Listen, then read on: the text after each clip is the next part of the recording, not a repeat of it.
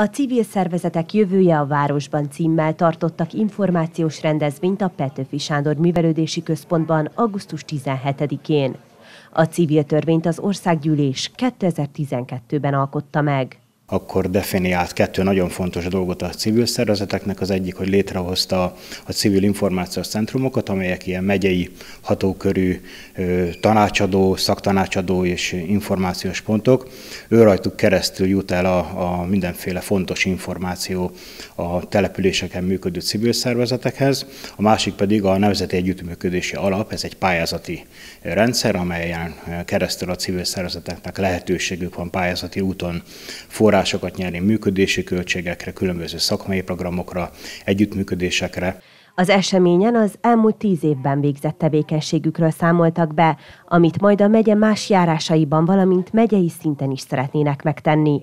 Szedmák Tamás köszönetét fejezi ki a több mint 3000 Bácskiskun megyében működő civil szervezetnek, akik működő, aktív tevékenységet folytatnak és jelentős közösségi szerepvállalásuk van.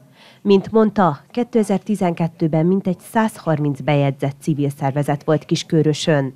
Hat évvel ezelőtt, amikor az új polgári törvénykönyv, illetve az új hozzá igazított civil törvényváltozások hatályba léptek, akkor kicsit meg is szigorították ezeket a, a, a kötelezettségeket, számviteli beszámoló kötelezettség, ezeket jóval szigorúbban veszi a törvényszék, és azok a szervezetek, akik nem teljesítették, vagy úgy nyilatkoztak, hogy a jövőben nem is kívánják teljesíteni a, a kötelezettségeiket, illetve nem kívánnak működni, ezeket törölték a nyilvántartásban. Így most Kiskörösön ilyen 100-110 működő civil szervezet van. Szedmák Tamás kiemelte, hogy lakosságarányos számokat tekintve kiskörös a pályázati források elnyerésében országos viszonylatban is az egyik legsikeresebbnek számít, hiszen az elmúlt tíz évben a civil szervezetek összesen 430 millió forintnyi támogatást kaptak. Az eseményen megjelenteket a szervezők nevében Molnár Elvira, a Bácskiskun megyei civil közösség szolgáltató központ projektvezetője köszöntötte, aki beszámolt arról, hogy a civil központ tíz éve működik, és a kerekévszám megünneplésére készülnek. A tervek szerint ennek keretében a Soltvatkerti Születi Napok rendezvényei során szeptember 17-én várnák a civil egyesületek bevonásával születésnapi programra az érdeklődőket.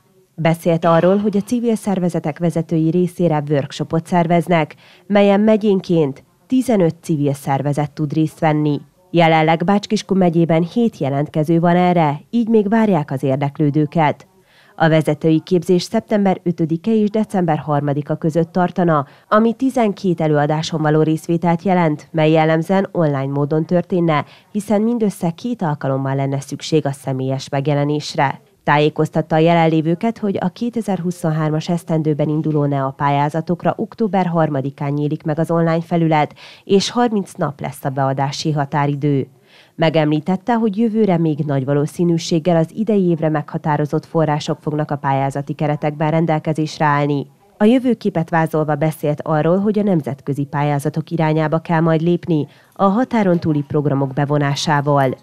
Kitért a sportegyesületekre is, akikkel kapcsolatban elmondta, hogy több ütemben lesz lehetőségük pályázni, de elsősorban utánpótlás nevelés támogatására lehet majd igénybe nyújtani.